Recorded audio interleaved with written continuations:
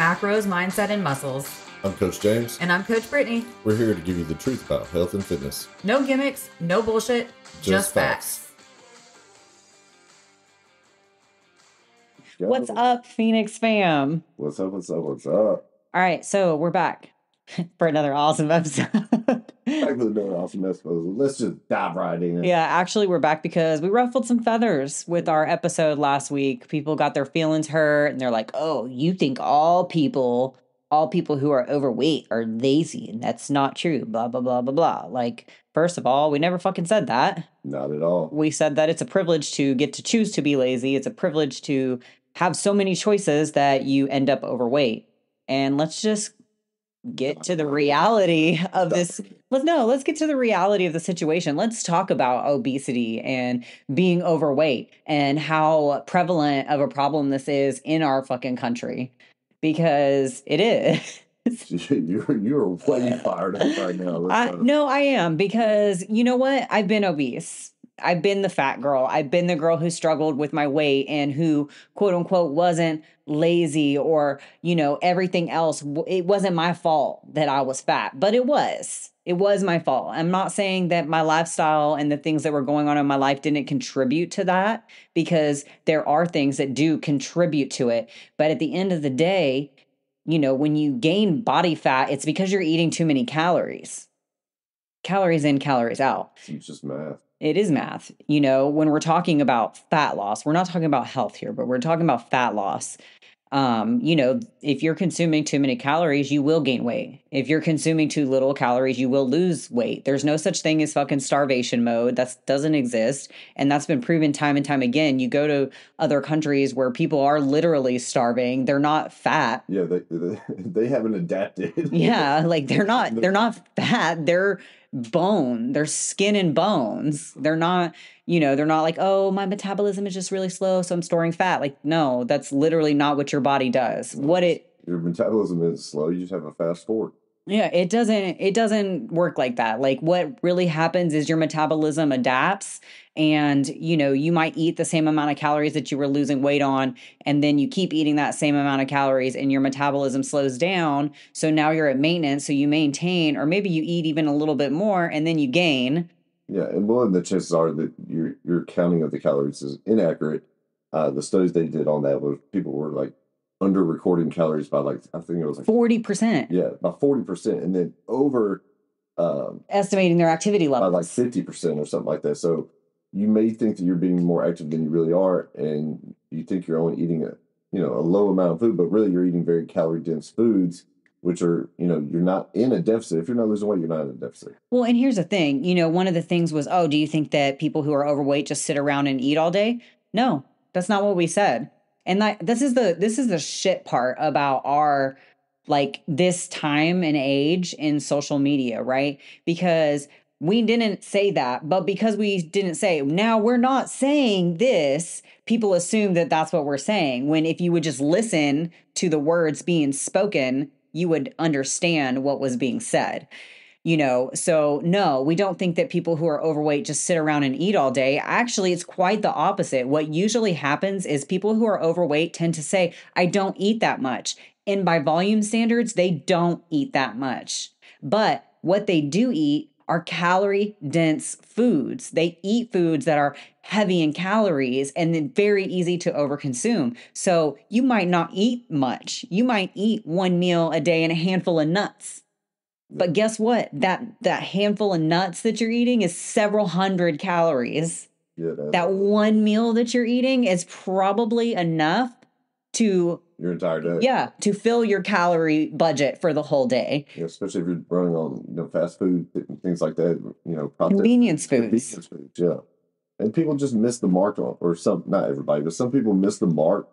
And the message of the podcast, the podcast was the the privilege of having sedentary jobs, being in these environments and food readily available to where you just pull out your phone and you can just tap on the screen and yeah. somebody brings it to yeah, you. Yeah, DoorDash. Yeah, like all you have to do is go walk to the front door to get it or, you know, go to your front lobby of your office or you know, you can go and order out any food, you can have it delivered. There's never a fucking shortage of food here We're never short on protein options. We're never short on convenience choices.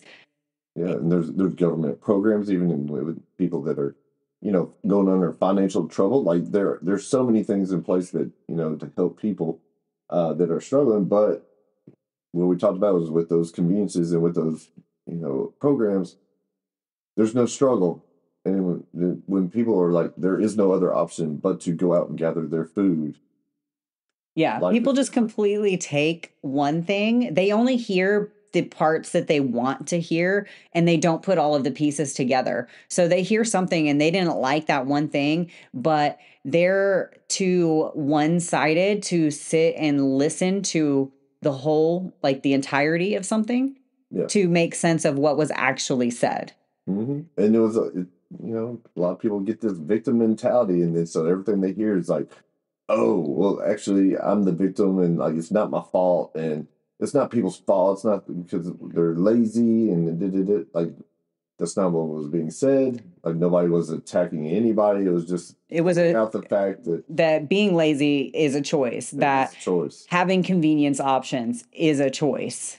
And you know what? I'm going to say it because I've been a victim of my own life. I have gone through the mindset work, the the mental work that it takes to actually shift your mindset from being the victim to being in control.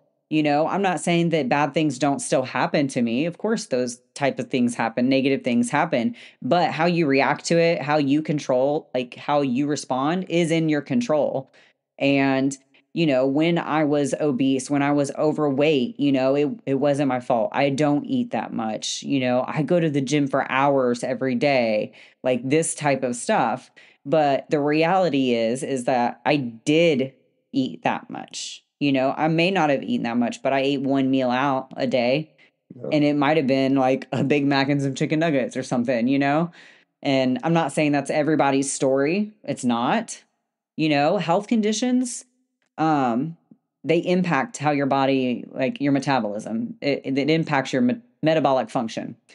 But it's not like it's still a matter of calories in and calories out. And then you add in alcohol consumption into the mix, and Yeah. all of a sudden now you have something that's hindering your meta- your metabolism already, and it's just a snowball effect. Like I mean, I use that all the time. I say the snowball effect, snowballs effect, but it does. And if you're overeating and underactive, and you're adding in alcohol into the mix, and, And then you don't even fucking track your food because you know you don't even really know what a portion size is because you think that two tablespoons of peanut butter uh what you're actually eating is probably four to Four six tablespoons of peanut butter. Yeah, you know uh that chicken breast that you you know you're eating i'm not again protein great awesome. You can still overconsume calories with protein um you know that chicken breast that you think is four ounces is actually 12 ounces. Yeah, like all these things they they matter they add up.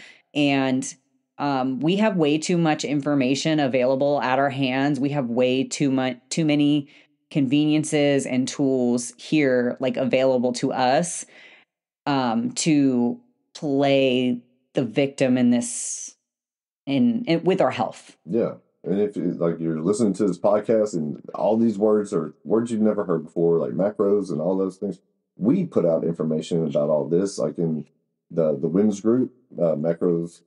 I mean, uh, yeah, macros, mindset, and muscles for women. Um, we put things out on social media, on Instagram, TikTok. We we put out all these things. So if you do need more information about it, we do have those resources. Uh, but the majority of people, I mean, they, I mean, people. Oh, this is a tough one, and it's just frustrating. I frustrating hate that uh, uh, we were receiving, you know, it was directed toward me at first, um, particularly because of the way that I, I kind of promoted that podcast on TikTok, you know, and I did it that way on intentional, like, hey, that privilege, let's talk about it. Go watch it before uh, it gets pulled down and we get canceled. And like people before even listening to it were like, oh, you think fat, fat people are lazy? Oh, blah, blah, blah. Like, clearly you didn't even listen to it.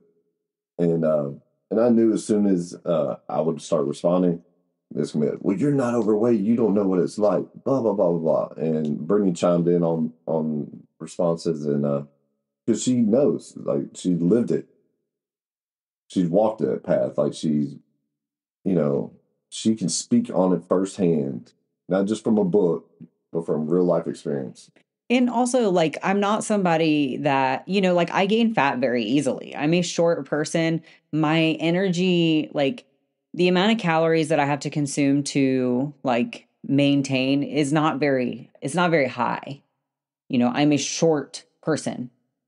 So, um, if I'm not intentional with all of these things, you know, there are plenty of times where I'm like, oh, you know what? I, I don't feel like doing that today eh, I'm just gonna be lazy today. You know, like I'm not gonna get my steps or whatever. And when I start falling into that trap of picking the easy way, you know, the quote unquote easy way, like I'm just gonna, you know, I'm just gonna relax. Yeah. Um, you know, I'm not gonna track my food, whatever. Like I can I can eat intuitively, you know, with mindful portions, but for me, I'm a data person. I love numbers. Like, I like being able to track data and see how my body responds to that, like to what my body is given. So, when I track data, I'm more diligent about my stuff. You know, when I make it a point to get in my steps, one, I feel better. It don't hurt. I think that's a big thing that people don't understand too. Your you know, yeah. Uh, how many people have, like, if you're listening to this, you know, the likelihood of you having some lower back issues is probably pretty high. Um, I think I've met I I've met less people that don't have back issues. Yeah. Um it's more of a prevalent thing because when we're sedentary, you know, we sit most like most jobs require a lot of sitting these days. And uh the truly active jobs are, are rare.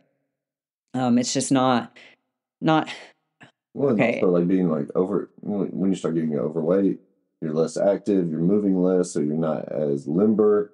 Um, each you know the additional weight is putting more pressure and uh, strain on joints. Um, it makes everything more difficult. And then also, I mean, if you're holding a lot of weight in your front, like you're you're front heavy, uh, you, that pulls around on those muscles on your back. If a woman's you know breasts are too large, like it pulls and puts pressure on her lower back. Like same thing with you know men. Like you get to a certain size, I mean, you're it's you will put a strain on your body. If you got tight, I mean, uh, sensitive lower back back issues, you probably got hamstring issues, and which you know it just It trickles. It's a trickle effect. But also, like when you're more sedentary, you ache more. We've talked about this in plenty of podcast episodes, but I think that's a big thing people have too is, you know, they're like, they get overweight and they get miserable. You know, they feel like crap. Again, speaking from personal experience, I'm not singling anybody out. I'm not pointing any fingers. Like I've been in this situation. So I'm speaking from my personal experience here. But your body just hurts, your energy levels plummet, and you get in this almost depressive cycle because you feel like shit, your body feels like shit, you feel like shit about your body, like you're not confident, you're embarrassed, but at the same time you don't have energy like to do anything, so you don't do anything, but if you did do stuff, your energy levels would increase, your confidence would increase, your aches and pains would decrease. So it's kind of like a you know, and you start going after very pleasurable foods, those you know highly palatable, palatable, sugary, salt, salty, lots of fat, lots of carbs. Again, fats and carbs on their own are not like bad. And you get this like this rush of like, oh, I feel good at the moment. You get this little dopamine hit, and then you feel shitty for your choices. And this entire cycle, er- as you were explaining it just then, is step by step, just like a drug addiction. Yeah. It really is like you feel bad. It's this cycle of feeling bad uh, and feeling terrible about choices and all this stuff. Then you do this bad thing, or not bad thing, but you do this thing that's not good for your health for a temporary relief, and then you feel terrible about it, and as the cycle continues, and you don't do anything about it.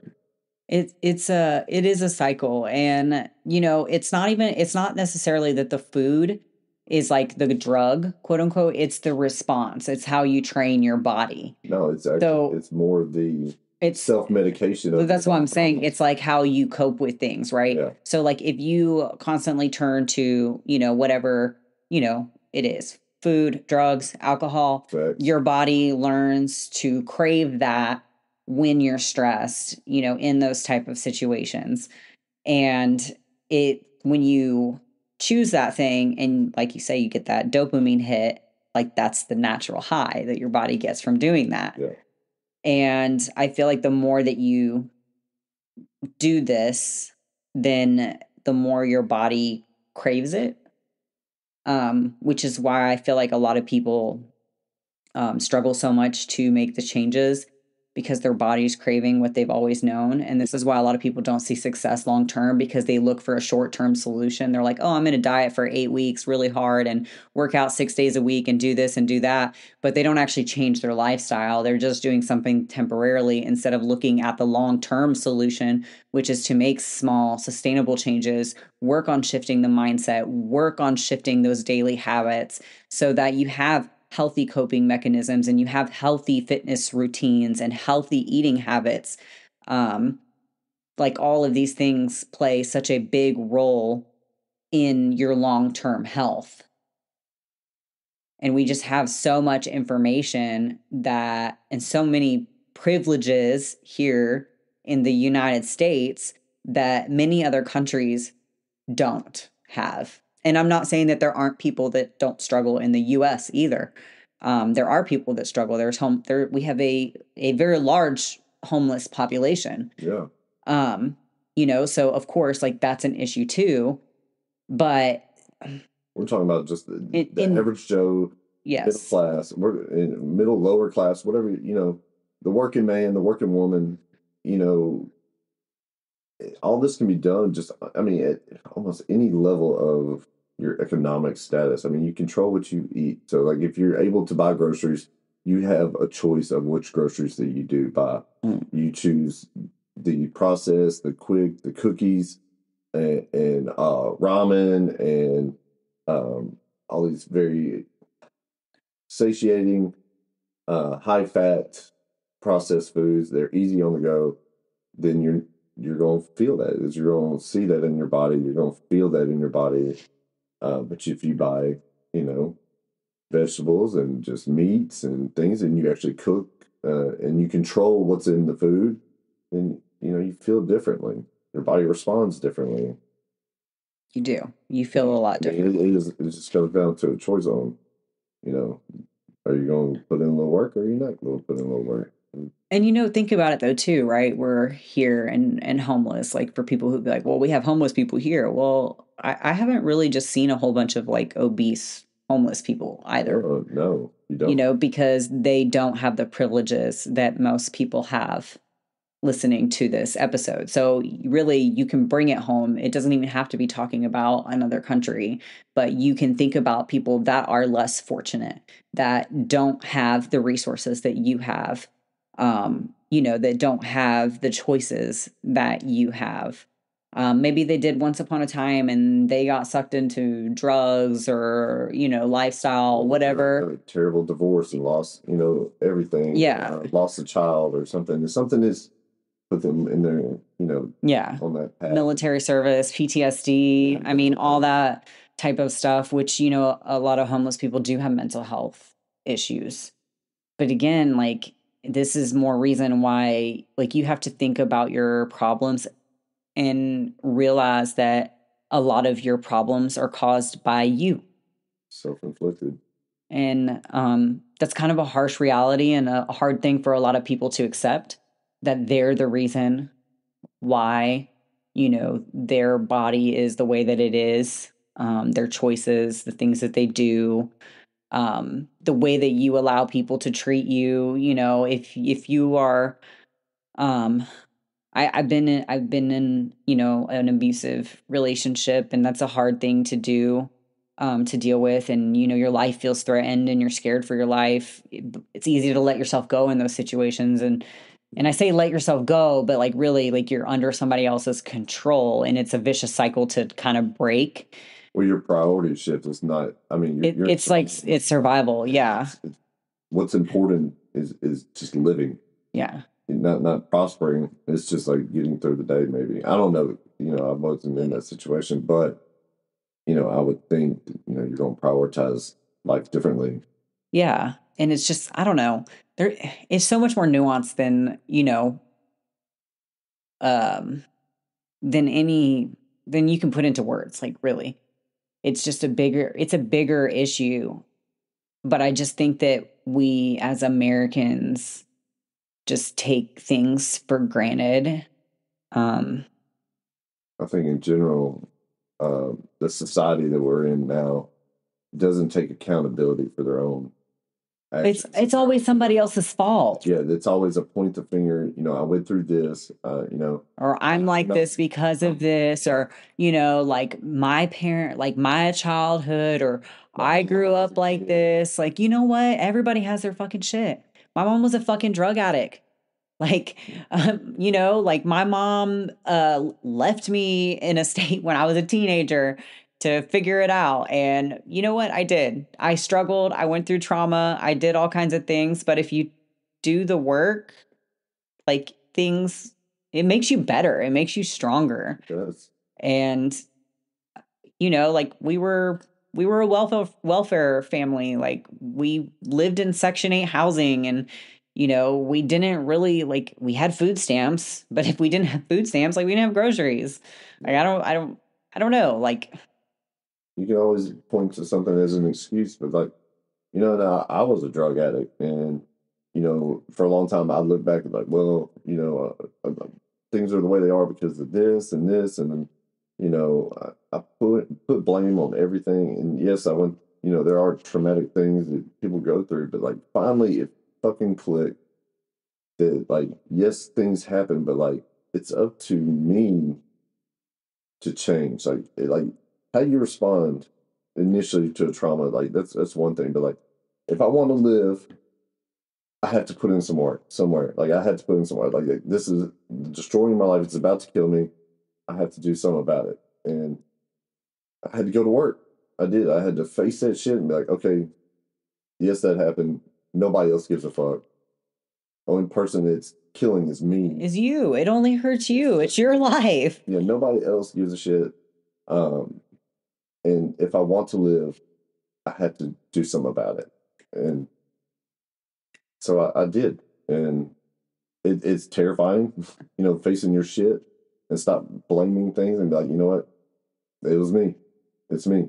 yeah The problem is me. yeah How I responded to things, you know, it like I fucked up. I gotta change. I got I gotta fix this. It's up to me if I want to live.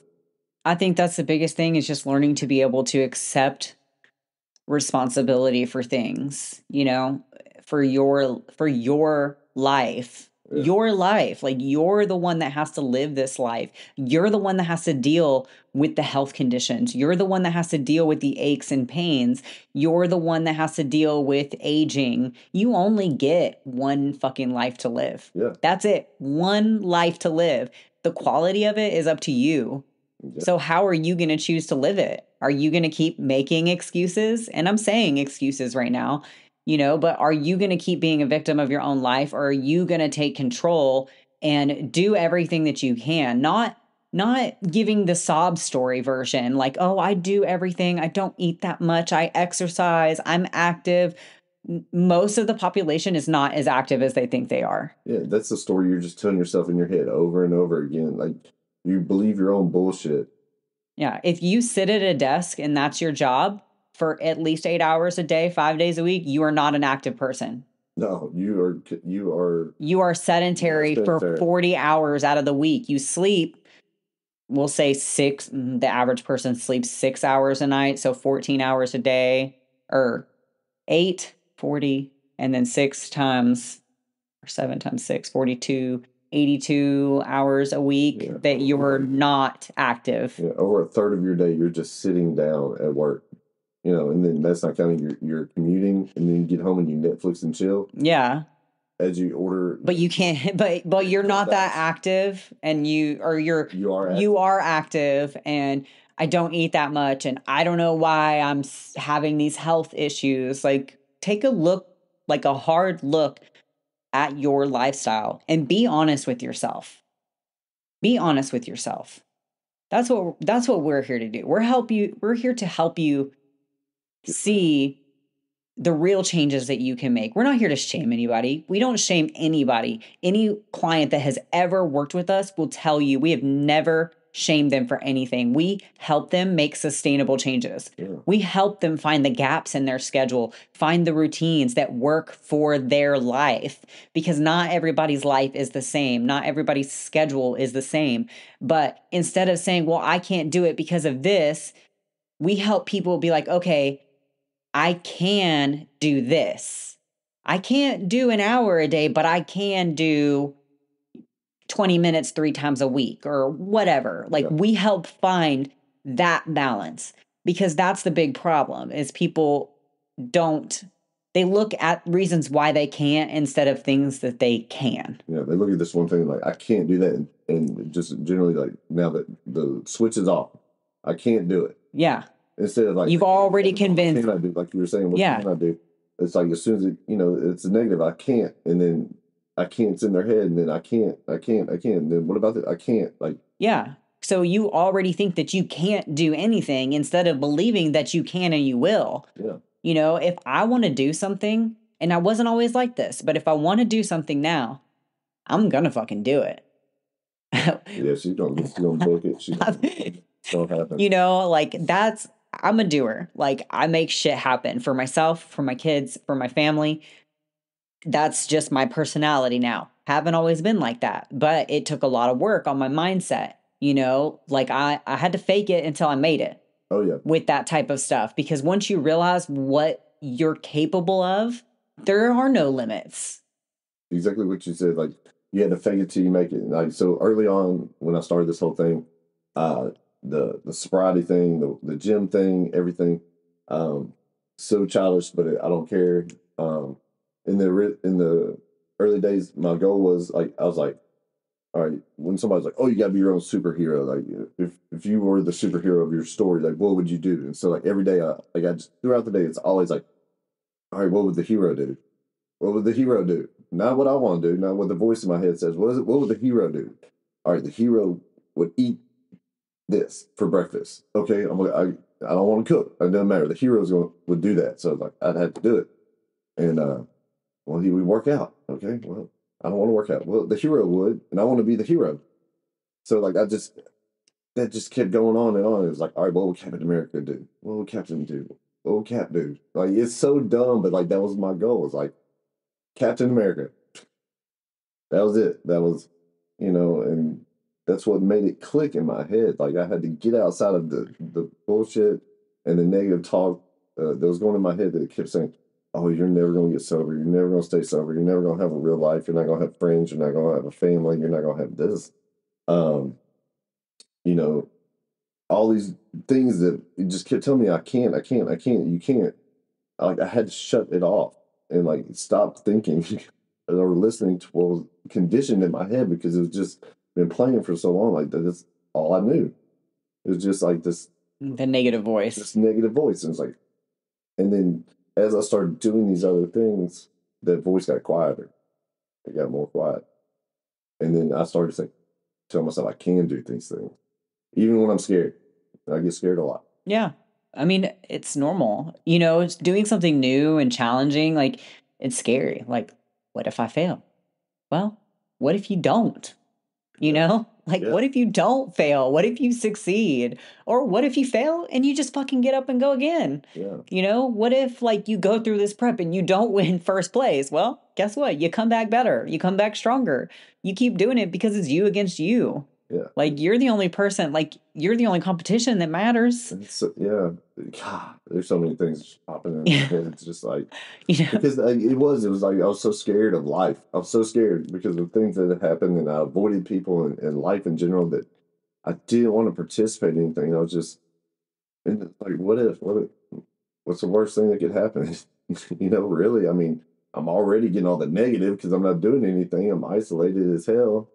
Anyway, this ain't the James show. It's just No, but lot of- speaking on personal experience and how you work through things, like you never know who that might click to. Like there Yeah. could be a, a guy listening to this who loves superheroes and might be thinking, you know, the same thing. Like, okay, Yeah. I'm gonna be the hero of my fucking story, you know? And and I think that's it really was that simple. Like I had to just make it that simple to me. It was just I was Captain America. I was going to be Captain America. Yeah, it's And you should be Captain America of your story too. You who's listening to this. But that's really what we wanted to kind of follow up on. Um, you know, we we aren't we aren't shaming people. We are very supportive of all of our clients. We have clients in all walks of life. You know, we have clients that are young, we have clients that are old, we have moms, we have grandmas. You know, we have younger husbands, dads. Like we work with all kinds of people, and we love helping each person find their groove because their groove is different from the next client from the next client. Um, but just understand that you have a ton of resources and things at your fingertips, you know, knowledge and Google, like research articles, PubMed. Um, you have, you know, professionals, not your favorite fucking fit influencer, but actual professionals in the field that know what the fuck they're talking about that you know are, they put out so much information that's helpful like there's no reason why you shouldn't be able to take control of your health and take control of your body and live a life that you have always dreamed of. Yeah, and if you look at yourself and can be honest, look at yourself and honestly, uh, and take accountability for you know things that have happened where you, maybe where you are now. If you can do that, then you'll also have the ability to change your life. mm-hmm. You hold the key. Like, yeah, whatever happened to this point happened, but like you from here on out, like you can choose to how the story ends or the next chapter. You are the writer of the story. Yep. Like, right now, like you decide right now, like, all right, I'm gonna start a fitness journey today, and you go put your shoes on, you go outside and you walk. You're on a fitness journey. yeah You're on 100% it now. You're on it now, and you're gonna post about it, and you can tag us. I can't wait. yeah Please do. So I don't know. That's just I I don't normally um explain myself or feel like I have to justify what I say, but I don't like when people try to twist something into their own narrative. Um, you know, we're here to help. We're not here to put people down, but also we're here to keep it real.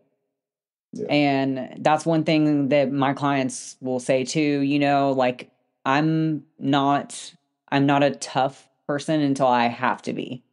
And when you're standing in your own way, I'm going to tell you. When you're creating your own problems, like I'm going to tell you, you know? And that's just how I am. I'm a direct person. I'm not going to co-sign your bullshit and your excuses. You know, there's a difference between something being a legitimate reason and, and excuses. And 90% of what people say, they're excuses. So It only comes from love. Like you, you point out the obvious. But you're you see what's happening and you're going to address it. Because if you address it, there's a chance that it can be changed. 100%. You know, and it, but if you just sugarcoat it and let it, you know, like you said, co-sign the bullshit, then the bullshit continues, and the bullshit grows, and then that next thing you know, it's all just bullshit. All bullshit. It's all bullshit. So we hope that you actually take the time to uh, listen to this whole fucking episode Yeah, before you start throwing stones. Maybe listen to all of the previous episode before you start throwing stones and saying shit. yeah, saying shit that the wasn't said. Yeah. Um, Yeah, yeah, because clearly in the 50 previous uh, episodes, we are not calling anybody any kind of names or shaming because we've lived this life firsthand, and all we're doing is trying to help someone else like us. count your blessings. I, Anyways, um, that's all we really got for today. So I hope that I hope this clicks for some people. Um, I know that others will listen to this and they're probably still going to get pissed off or get their feelings hurt, but um, that's okay. Like your the way that you consume information may not be the way that we speak it, and that's that's okay. yeah, You know, there's you should ask yourself why is that bothering you? yeah, Why, why did this upset you? yeah. You know, So, anyways, um, hope y'all enjoy this and you have a great week ahead. And we will uh, see you next time. Thanks for listening to Macros, Mindset, and Muscles. Until next time, I'm James. I'm Brittany. We're We're out. out.